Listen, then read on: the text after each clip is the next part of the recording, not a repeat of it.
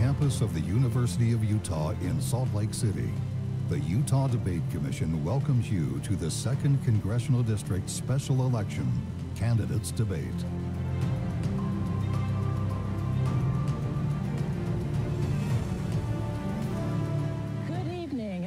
To tonight's debate featuring two candidates running for Utah's second congressional district seat in the U.S. House of Representatives. I'm Mary Weaver Bennett, director of the Michael O. Leavitt Center for Politics and Public Service at Southern Utah University.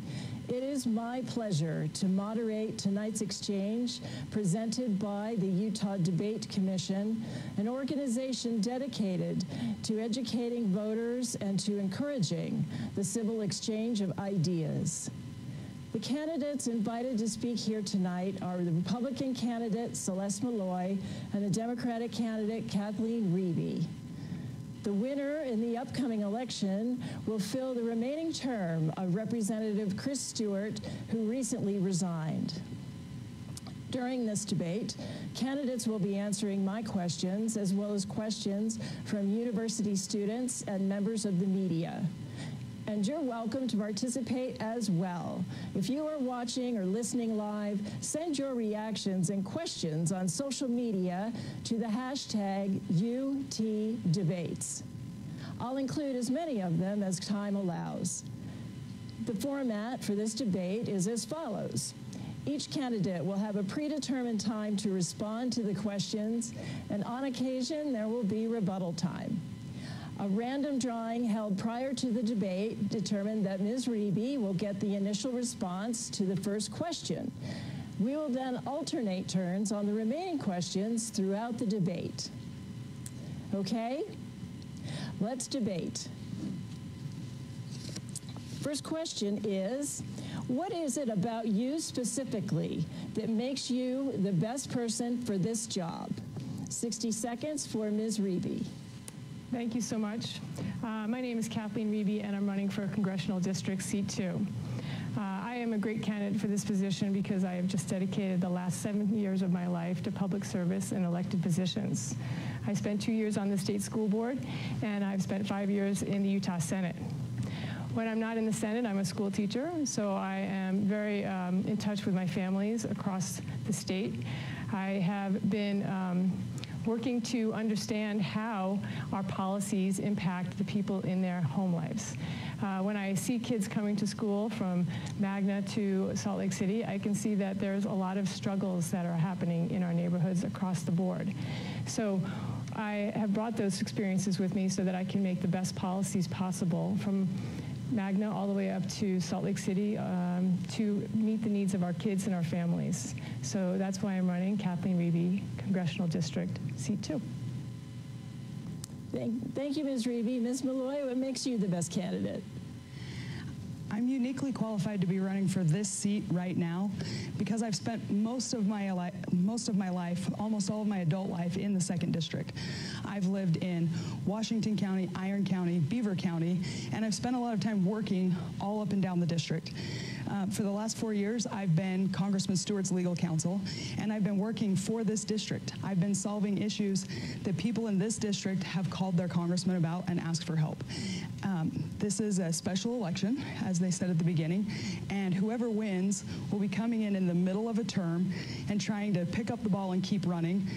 Uh, Congress is struggling right now. Things aren't going smoothly, and we really need somebody to get into the seat who knows how Congress works, who knows how to work with people, and who already knows this district. There's not time for somebody to learn all the processes and learn what the people in the district need. I already have that experience. I'm ready and willing to serve, and that's why I'm uniquely qualified. Okay.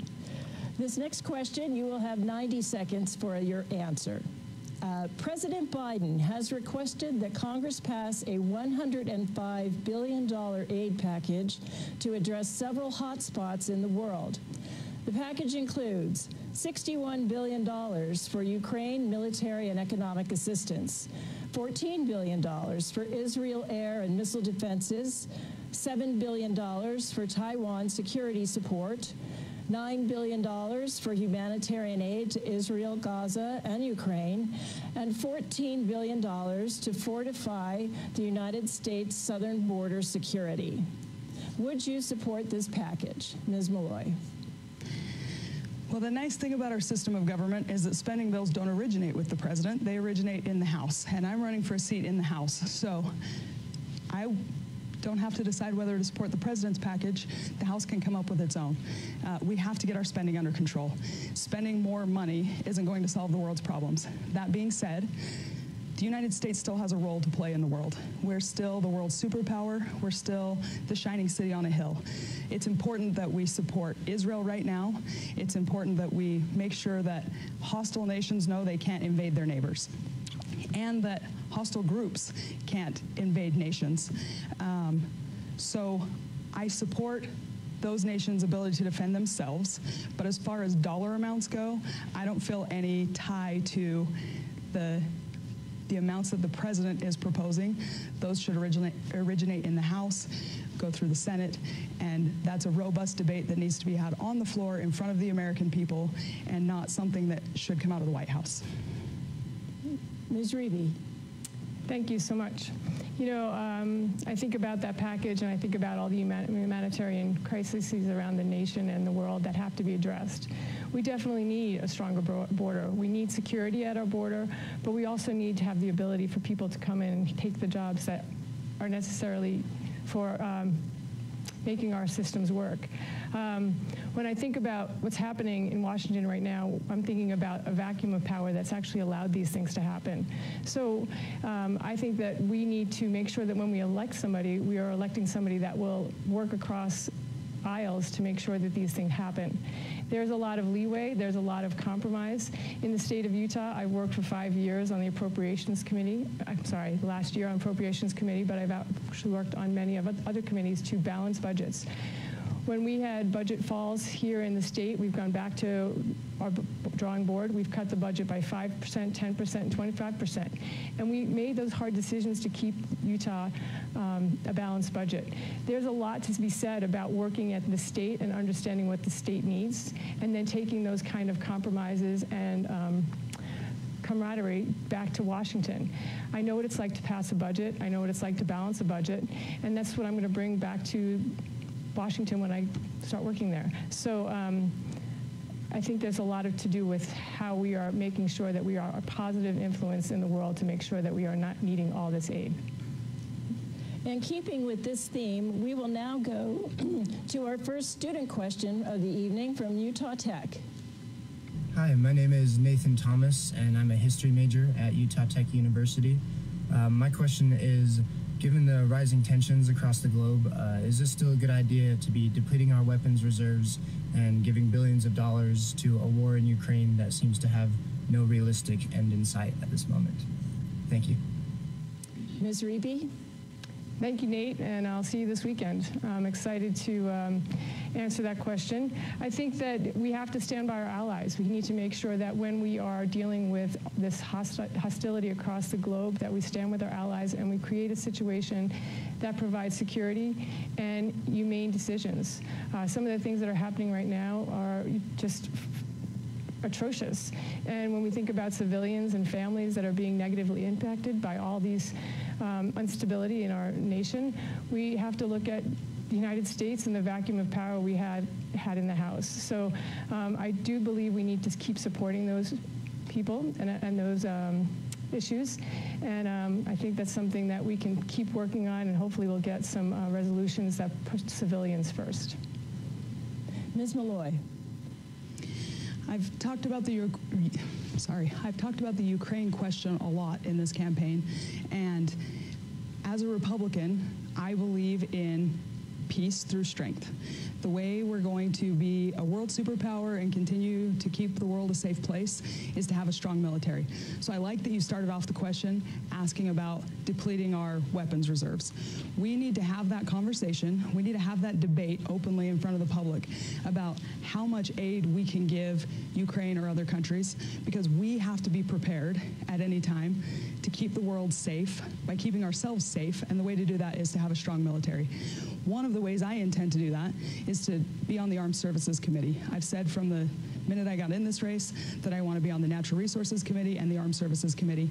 It's important that we have a safe world, and the best way to ensure that is for the United States to remain a world superpower and to do that through having a strong military.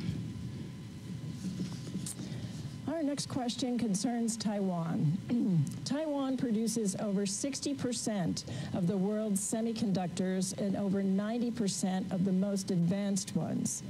Some members of Congress are against further military aid to Ukraine and favor more funds to arm Taiwan, claiming that Chinese aggression towards Taiwan is a greater threat to the U.S. than Russia's aggression to Ukraine. Would you support cutting military aid to Ukraine and redirecting those funds to Taiwan? Ms. Maloy.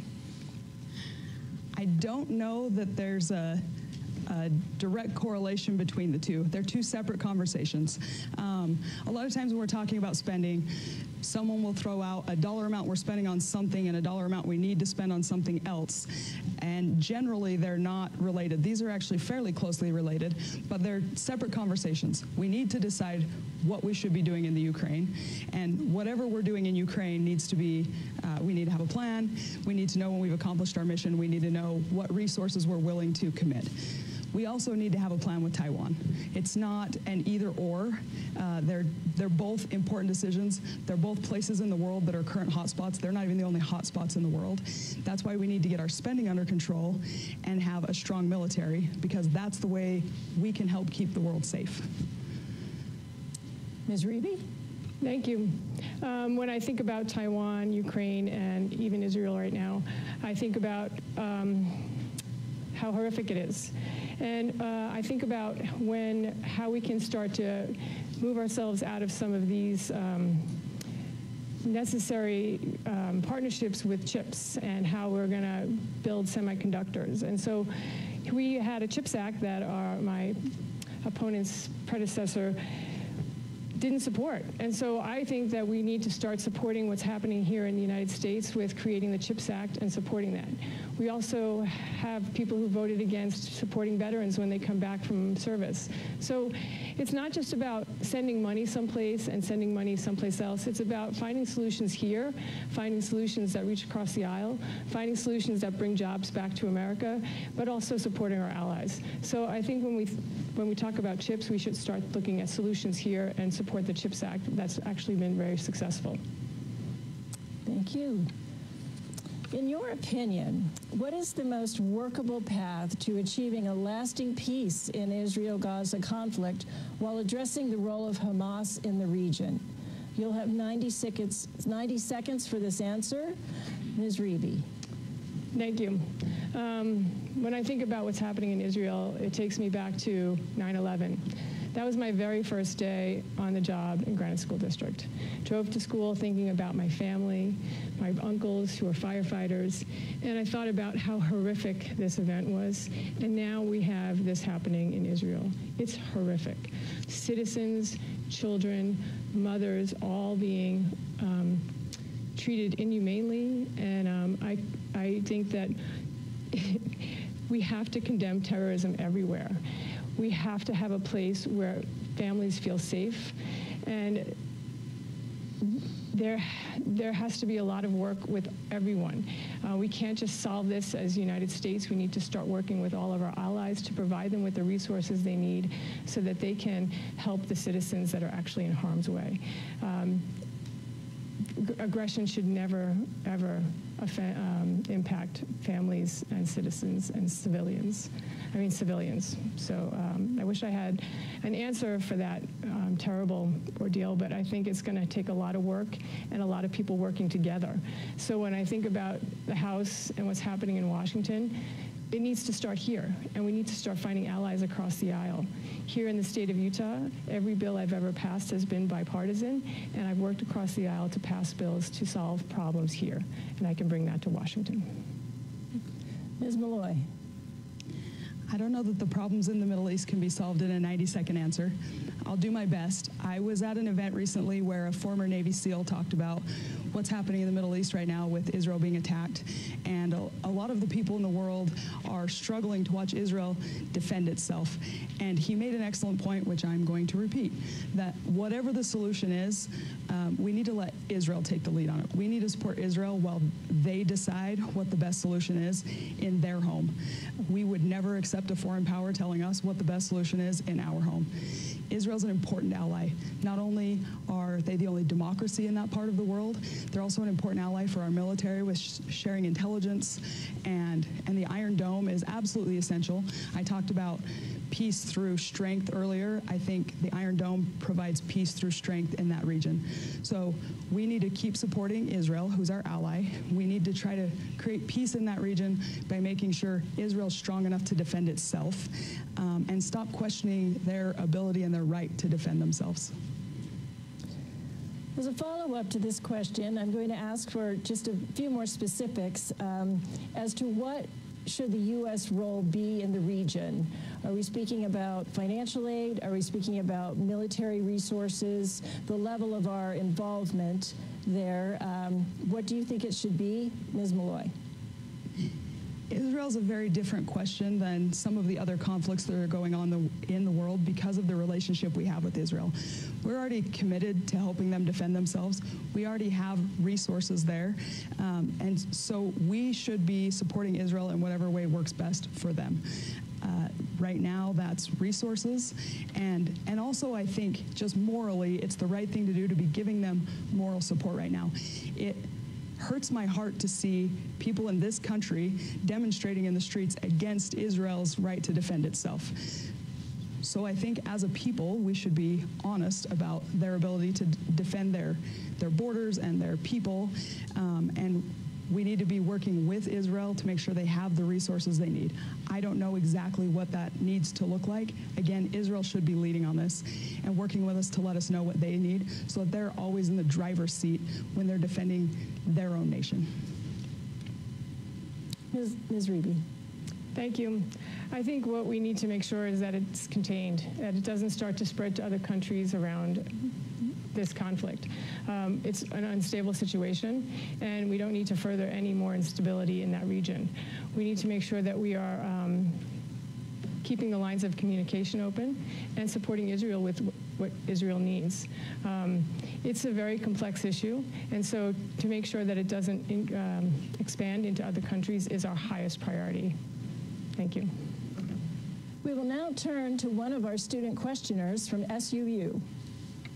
Hi, thank you for having me. Here's my question. The 2nd Congressional District reaches from the south side of urban Salt Lake City through rural Richfield and booming St. George, Utah, with each area having its own issues and needs. How are you going to get the expertise you need to fully represent these different constituencies? Thank you. Ms. Riebe? Thank you. Uh, I've spent seven years learning about all of these districts. I have worked with school districts across the state and into this congressional district.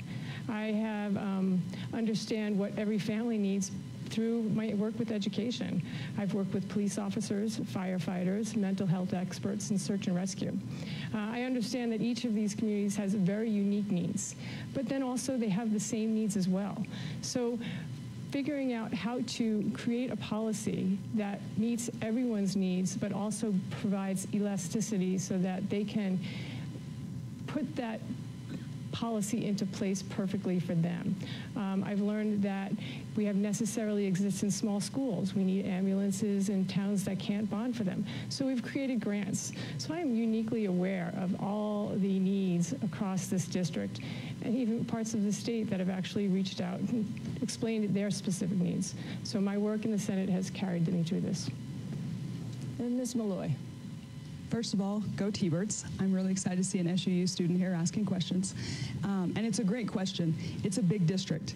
Uh, I've spent a lot of time traveling up and down this district, not just in the last four months while I've been campaigning, but for the last several years in my professional capacity. And the issues are fairly uniform up and down and back and forth across the district. The details vary from place to place. But I've been talking to people all over the district, and people consistently want to talk about inflation, spending, and government overreach. That might look a little bit different in Magna than it does in Monroe but people have the same concerns. They're the kitchen table concerns. People want to know that their paycheck is going to get them to their next paycheck. They want to know their kids are going to get a good education. They want to know their kids are going to get jobs and be able to buy houses. Um, and that doesn't really change in any part of the district. It is important that whoever represent this district represent the district as a whole and get to every part of the district. And I've been doing that for a long time. Thank you. We will now turn to Max Roth of Fox 13. Great. Thank you so much, Mary, and thank both of you for this opportunity to ask a question. Our viewers have watched Congress go through weeks being paralyzed, unable to find a leader. Now, uh, they ousted a leader because he compromised to keep the government running. They finally, after three failed attempts, found Mike Johnson to be the speaker. He faces a tough situation. What I want to hear from both of you is that hypothetically, Mike Johnson for you, Ms. Maloy, and Ms. Riebe, be Hakeem Jeffries for you. They appoint you as the committee to get together and find practical solutions, compromise to keep the government running. What are you willing to do to keep the government running that may go against what you think is best? Ms. Maloy. Well, first of all, the great news is I watched Mike Johnson's speech from the floor of the House when he accepted the job, and he said he intends to appoint bipartisan uh, a, a bipartisan committee to figure this out. So I guess the first thing I would be willing to do is serve on that committee if he asks. Um, Speaker Johnson, if you're watching. Uh, and the second thing I would do is use the experience that I've had up to this point. I've worked on bipartisan issues before, and I've done it in Congress, which is different than the way it works in Utah.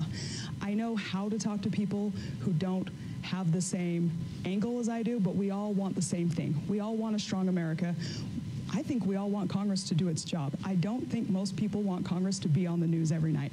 So I would be willing to work with Democrats, find common ground, and work towards the common goals that we all share as Americans instead of focusing on the things that divide us, which I think is what has been happening Ms. Riebe. Thank you so much. Um, that's interesting because we were in a debate, a forum the other day with Salt Lake County business leaders. Oh no, it was in Richfield. Um, and when my uh, other candidates were asked, who would you pick on the other side to represent you, they demanded that we are Republican control and I would never pick somebody else. Um, I, on the other hand, said I will work with whoever is willing to work with me. I will never let the government shut down. I think it's important that the American people have a functioning government. So to come up with a hypothetical of who I would work with, I would work with anyone. I was at school today watching kids run across the field and thinking about their lunch programs. I was watching the postal person deliver my mail. These are people that are depending on our government working for us and working with us. And so to think about um, who would I work with? I'd work with anyone that would keep the government open. Following up on, on this question, um, Republicans who voted to remove Kevin McCarthy as Speaker have said it was because he was seen as cutting a deal with Democrats to avoid a government shutdown. Is there a price to pay for reaching across the aisle? That'd be Ms. Riebe. I don't think there should be a price to pay for reaching across the aisle. I think when we start thinking about the work we're sent to Washington to do, it's to work for you and what you need. And if you need us to stay in Congress and work things out, we should stay there. And I would actually prefer if we didn't get paid if we weren't having a government running. If we're not getting paid and you're not getting paid, then there's some um, real um, dire like desire to make that happen quicker. So um, I don't think there is a downside to working across the aisle. I think here in the state of Utah, we're a great example of working across the aisle. Uh, like I said before, I've reached across the aisle to change bills, to modify bills, and to make things work for people that don't agree with me. And I'm, I do that work every year. And so um, I would definitely work across the aisle with anybody that would be willing to work with me. It's important for us to do what the public wants us to do. Ms. Maloy. It's a good question whether there's a price to be paid for working across the aisle. And I think the answer is generally no. I think the American people and members of Congress respond well to anyone who can work across the aisle to accomplish things that have a broad base of support. Um, working across the aisle just for the sake of saying that you work across the aisle isn't always popular. And there's something that I've said a lot on the campaign trail, which is I'm willing to be strong and unbending all day long on principle, but it doesn't mean that you have to be a jerk and unwilling to work with people. And I think that's the key to working across the aisle and working across the aisle well. There are a lot of things that Republicans and Democrats agree on. Um, we want a budget. We want the government to function. We want America to be strong. We want to defend our system of government. Um, and if we focus on those things when we're working across the aisle, I don't think there's a price to be paid. Well, we're going to go in a little bit more detail at this point. Um, if the House, the Senate, and the President do not agree on the funding level for the government by November 6th, the U.S. government will again face a shutdown. Would you vote for a bipartisan agreement with the House and the Senate for government funding, or would you vote for a government shutdown? Ms. Maloy. This is not the first time I've been asked this question, and I'll be consistent with the answers I've given before. I'm willing to vote for a spending bill that reduces spending. I don't think it's a choice between compromising our principles or shutting down the government. Um, we can take steps in the right direction. We can take small ones or large ones. I'm willing to work with my colleagues and make sure we're going in the right direction. Uh, and as long as we're cutting spending and moving in the right direction, there's no need to shut down the government. The only time I would support shutting down the government if, is if the only other option were big spending increases. I, would I vote on a bipartisan bill? Yes, as long as it's moving us in the right direction. And I think that's something the American people really want to see. Out on the campaign trail, I've had people talk to me about spending in every city I've been in, every county I've been in. It's important and it's something we can't compromise on. Ms. Riebe. Thank you so much. Um, I would never vote for shutting down the government. I think it's irresponsible. Uh, in my family right now, we've had a lot of medical needs, and we take care of those medical needs. We go into debt because we have family issues that are important. Right now, across the world, we have very important issues to deal with. I do believe that we need to cut spending, but not to the detriment of safety and security across the globe. So when we think about cutting the budget, we're going to have to start thinking about that at a time when it's not so dire. I think that we can do a lot of work while we are passing a budget and then come back and do the work while we are safe and secure and people are doing the jobs that they are paid to do. Uh, when we are in a situation that needs emergency reactions, we spend more money. And that's where we are right now. And I would be willing to come back to the drawing board after we've maintained security. Thank you both very much. We have now reached the halfway point of the 2nd District House of Representatives debate featuring Republican candidate Celeste Maloy and Democratic candidate Kathleen Riebe. I'm Mary Weaver Bennett from the Michael O. Leavitt Center for Politics and Public Service at Southern Utah University. We are still taking your questions during this live broadcast using the hashtag UTDebates on social media. Now, let's get back to the questions. We have a recorded question from a student at Utah Tech. Hi, my name is Adeline Brotherson. I attend Utah Tech University and I'm studying psychology as a senior debating whether I should go straight to the workforce or go to grad school. The inflation, the high interest rates, high rent prices, and low paying salaries are pretty disheartening. I would just like to know what your thoughts and opinions are for us younger generation that are entering our big adult life and what, if anything, Congress can do to help us out in this phase of our lives. Okay, Ms. Riebe. My suggestion is turn around, go back. Go back to school. Do not enter adulthood. It's really hard. Stay in that time frame for as long as you can because it's the best time of your life. Uh, I have a son who's also in this part of his life, and I have a daughter approaching this time of her life. And it's hard. this generation that's ahead of us has Herculean problems being handed to them by my generation. We have climate change, we have a deficit, and I, I, um, I applaud you for thinking about how hard it's going to be. Uh, we need to make sure that when you enter the workforce that you are prepared and you're ready. But we also, my generation needs to start thinking about what's going to be passed on to you. So um, when I think about suggestions, my first suggestion is stay in school. Ms. Maloy, your response. It's a great question. Um, I'm going to answer it by telling you a little bit about myself. I finished my undergraduate degree at SUU, moved to Beaver, and worked for almost 10 years before I went to law school. I'm a big proponent of working before grad school. I think it makes it easier to get through grad school. It makes it easier to save up money so you don't have as much of a debt load coming out of grad school. So you can live your life however you want. I have no authority over you whatsoever. Um, but I do sympathize with your question. Right now, the cost of education is really high. We require uh, advanced degrees for a lot of jobs that probably don't need them, and the interest rates on student loans are high. Uh, I can help address that from the House of Representatives by doing the things that I just talked about inflation, spending, and government overreach. We need to get those under control for people your age. You shouldn't have to be worried about the high cost of housing and the high cost of groceries when you're trying to decide what to do with your education. Obviously, you do, but it shouldn't have to be that way.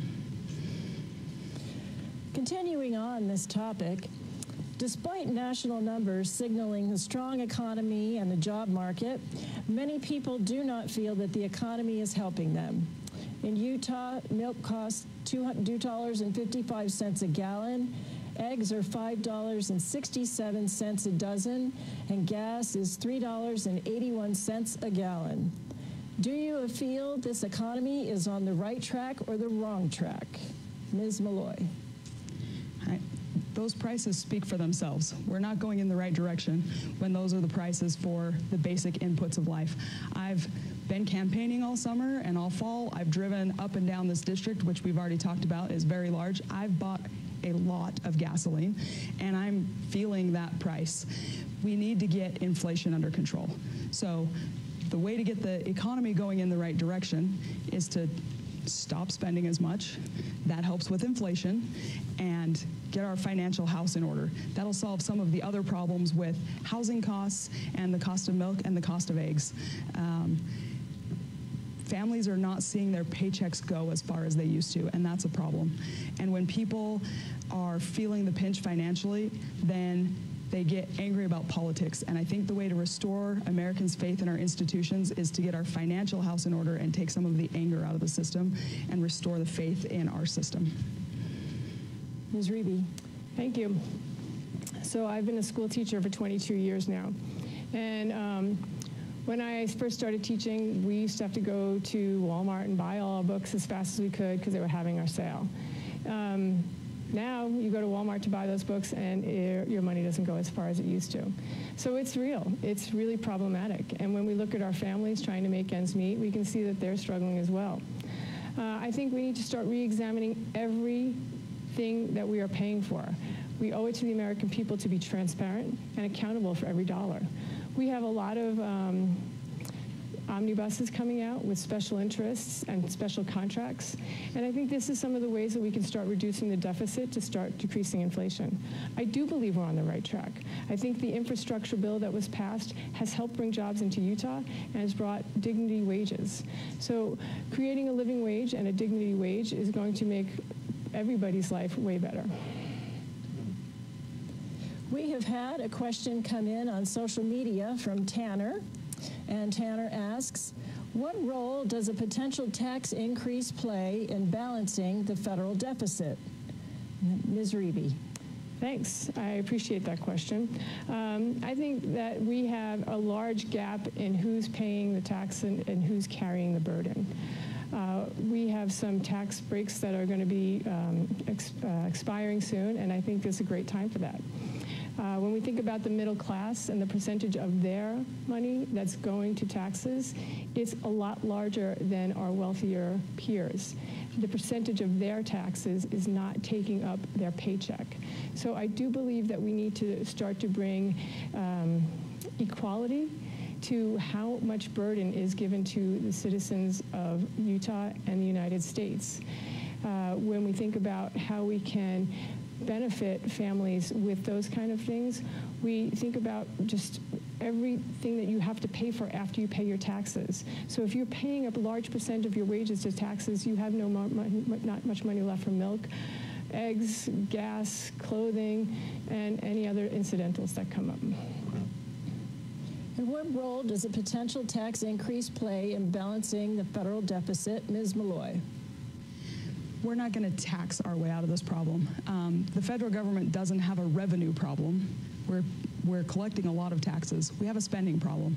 Before we talk about increasing taxes, we need to talk about cutting spending. And I'm starting to feel like a broken record up here. I feel like that's my answer to every question, but it should be my answer to every question because that's the question everybody's asking me. Uh, when I'm out talking to people in this district, everybody wants to talk about spending. Why is the federal government spending so much money? And particularly, why are we spending so much money to have the federal government so involved in people's day-to-day -day lives when if the federal government was less involved, we wouldn't need to spend as much money. So I don't think increasing taxes is the answer to our inflation problem or our spending problem. We have to get our um, appetites under control. That's not the word I'm trying to come up with, but we, we have to spend less and do less from the federal level. Let's talk about Social Security.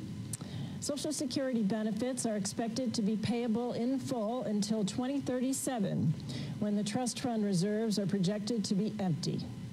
At that point, the continuing taxes are expected to be enough to pay only 76% of the scheduled benefits. Thus, Congress will need to make changes to the benefits and revenue sources of Social Security. Would you support or propose changes to ensure citizens continue to receive full Social Security benefits? Ms. Maloy. I have said on TV before that I'm willing to look at the entitlement programs. Um, the way the question's asked is what changes would you make to make sure people continue to receive their full benefits? And I think we need to start even farther back than that. Just what changes do we need to make? Obviously, this, the system that we have isn't solvent. It's not going to work. You said it'll run out in 2037. That's only 14 years from now. Um, so we have to figure out what people actually need and how we can fund it. I don't know that just trying to find a way to continue uh, offering the exact same program is the right answer. But what I am willing to say is that I'll work with my colleagues to figure out what we need to do. I know this is a, it's the third rail of politics. Nobody wants to talk about Social Security, Medicaid, Medicare, but we have to. We have to have the conversations. We owe it to these college students who are asking questions. Ms. Riebe. Thank you. I don't consider this a third rail at all. I think it's an important thing and it's not an entitlement. It's something that all of us have invested in. My uh, grandfather passed away, and my grandmother received a death benefit. This was the thing that saved, their, saved them from being homeless. So I don't think Social Security uh, benefits for deaths or um, disability is something that we should ever get rid of. I think it's something that as a responsible citizenship, we should take care of the people who are most vulnerable. So I would work to do anything I could do to keep this. Uh, we can look at maybe changing the mechanism for the people that are the highest earners, that they would receive less of a benefit, but there is no way that I would ever look to take away Social Security, death benefits, or disability benefits. It's something that provides humanitarian uh, benefits to the people of America, and it's also the right thing to do to take care of the people that are vulnerable. And that's why I think I'm a great candidate to go to Washington. Thank you. Article 4, Section 3 of the U.S. Constitution states that Congress shall have power to dispose of and make all needful rules and regulations respecting the territory or other property belonging to the United States. Our courts have interpreted this to mean that the federal government controls public land. Are you satisfied with the federal stewardship of public lands in Utah? Ms. Riebe. Thank you. I've lived in the state of Utah for 30 plus years. I came to Utah because it's beautiful. I came to Utah for its public lands and for its amazing quality of life. I think that when we start working with public lands, there is some room to grow. But I think that the local people that surround the areas that are public lands should provide a stewardship, should be a part of a stewardship that works with the federal government. Uh, I was in Richfield the other day, and a gentleman got up and said, you know what, I'm sick of hearing people saying I'm going to fight he wanted to hear people work, and I'm going to work with people. I'm going to try to find solutions that let local people have stewardship over their public lands. Um, this is a great state with beautiful resources. We need to make sure that people can create a living wage and a business on that uh, public land, but then also we need to make sure that public land is ready to pass on to the future generations without corroding it or erupting it. Ms. Maloy. You asked whether I'm satisfied with federal government management of public lands, and the answer is no. If you've seen my resume at all, it's pretty obvious that that's how I've spent a lot of my life um, trying to improve that. And I, I find that I agree with my opponent on something that she said, which is that the local people should have more input in how these lands are managed. Um, but she mentioned the people who surround the public land. And the thing is, in Utah, the public land surrounds the people. There are counties in this district that are more than 90% federally managed. Um, so no, I'm not satisfied with that.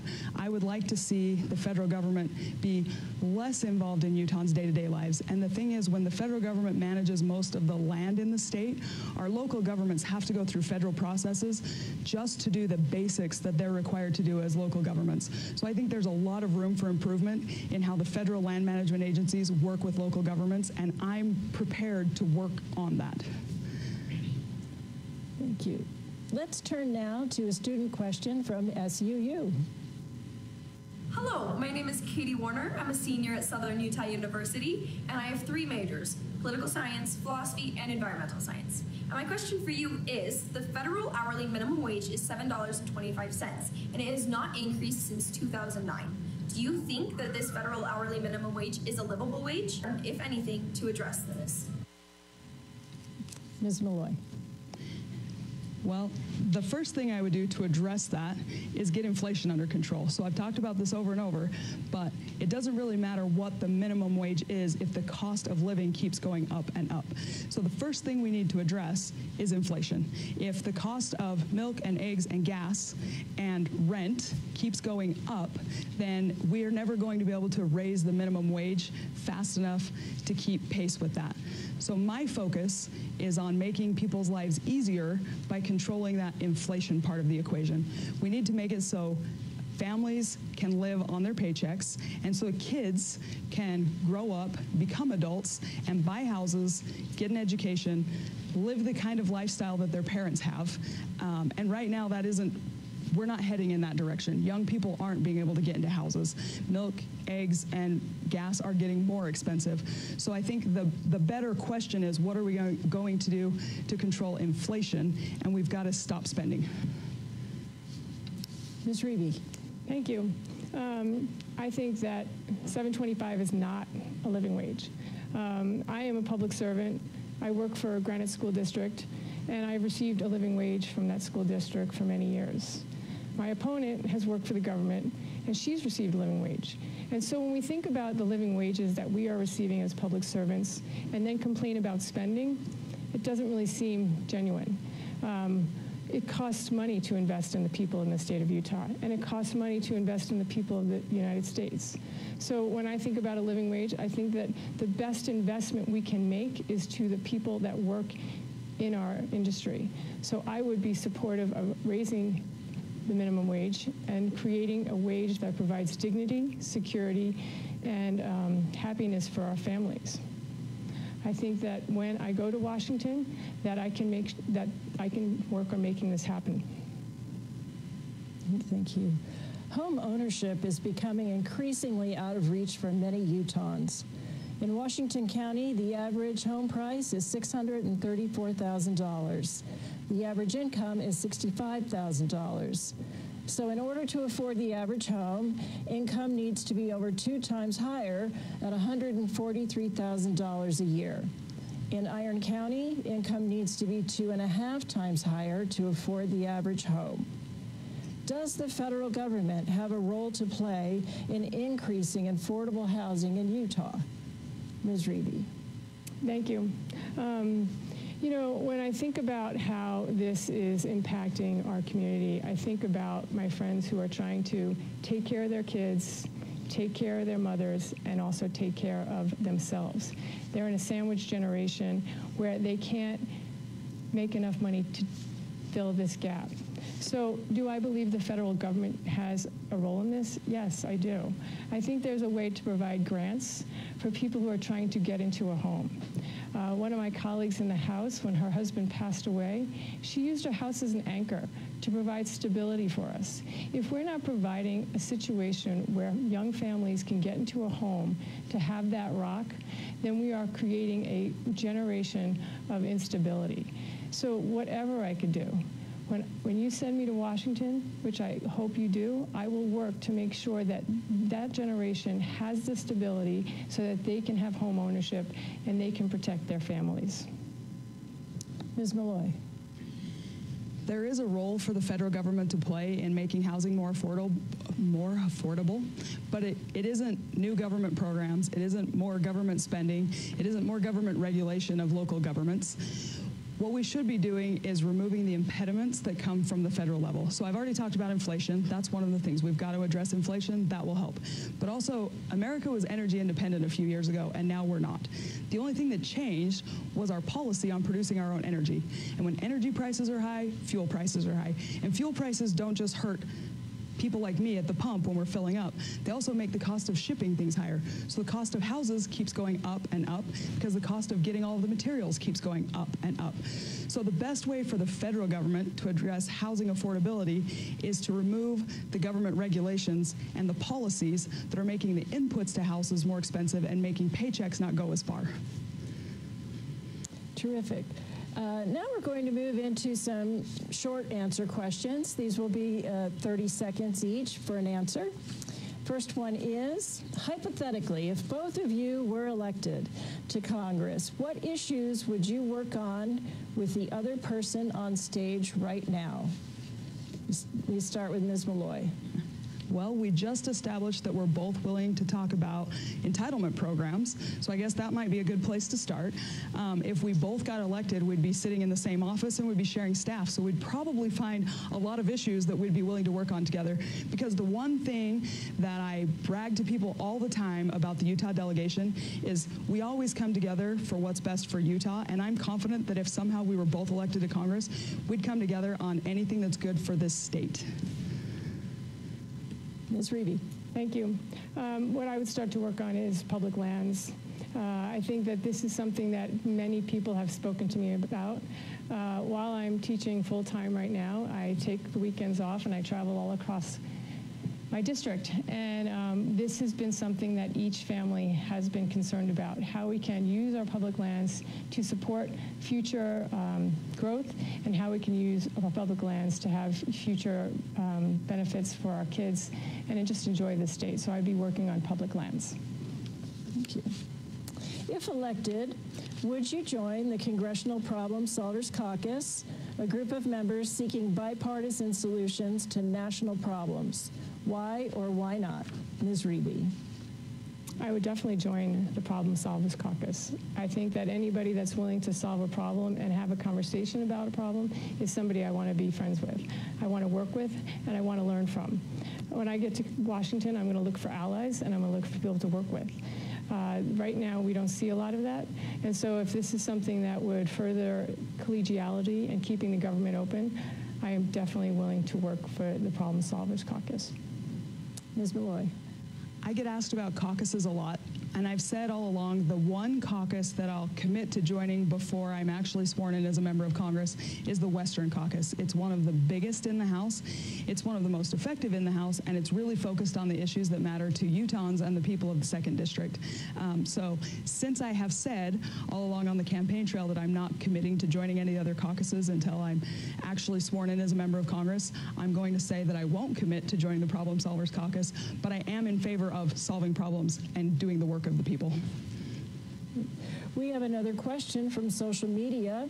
Val asks, what actionable plan would you propose to reverse the alarming decline of the Great Salt Lake? Ms. Maloy. It's a little bit of a trick question because water law is state law, and the Great Salt Lake is completely within Utah's borders. I have a deep background in water and water policy, and I've worked with the state a lot on Great Salt Lake issues, and it's something I promise I will keep working on, but I don't think your federal representatives should be writing an actionable plan. The state needs to write the plan. And then your federal elected officials need to do whatever they can to support the state's plan and make sure that the state's plan for the Great Salt Lake can be implemented. Ms. Riebe. The Great Salt Lake is very problematic. Last year in legislative session, we did barely anything. We did get a lot of water and we did have that um, benefit, but legislatively, we did very little.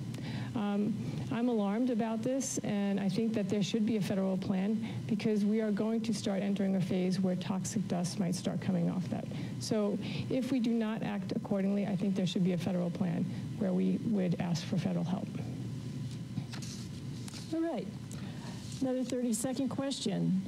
Do you support term limits for members of Congress? And if so, how long would you be elected? We'll start with Ms. Riebe. I do support term limits. I think term limits are extremely important. I think that a um, 10 years might be too less, uh, but 40 years might be too many. Uh, I think that when we are in our positions too long, we start to gain too much power and we start to hoard it. And it prevents conversations. And I think that we need to have more younger people in Congress. And so that's why I support term limits. Ms. Maloy. Uh, well, luckily, we already have the option of replacing our House members every two years. We have elections. Um, I used to be really big on term limits. Now I'm not completely convinced that they would solve the problems that most people want to solve with term limits, but it's something I'm willing to work with my colleagues on. I think there is some logic to having a limit to how long someone can serve in Congress, um, but it should be long enough that they can do the work of the people they represent, and that's a conversation I'm willing to have. I don't have a hard number in mind right now of how long someone should serve. Well, I want to thank our two candidates very much. We have now reached the end of the debate. A random drawing held earlier determined that the first closing statement would go to Ms. Maloy. Thank you. Um, I watched last night as the United States House of Representatives elected a new Speaker of the House. And I listened to Speaker Johnson's speech, and I was inspired by some of the things he said. He talked about how we need to do the work in Congress of restoring America's faith in our system of government. The trust is low, and the way to restore that trust is through transparency and doing the people's work in the open. And I agree with that. And he talked about working together and, and taking some of the anger out of politics politics, and I totally agree with that. So I'm running to represent the second district because I want to see the people in this district have real representation. I want to be here talking to people and representing their values there, and I want to be part of the effort to restore Americans' faith in our system because I still believe in our system of government. I still believe that representation is important and that I owe it to my constituents to show up, answer questions, be part of debates like this, and make sure they feel like their voices are being represented on a national stage. And Ms. Riebe, your closing statement. Thank you so much. um, I would like to say that here in Utah, we have had a plea from the LDS Church to find peace.